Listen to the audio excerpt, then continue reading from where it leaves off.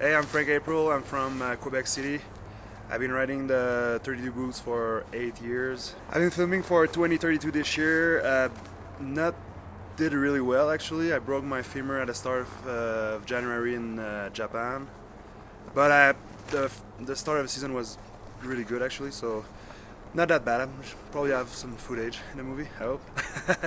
I'm excited to see uh, Cass because uh, I didn't see that much footage of him, and he's a um, good guy and super happy all the time, and his, his vibe is really good. So I bet his, all the footage is gonna be really sick. And uh, like always, JP Walker, um, can't wait to see his part because I already did well too.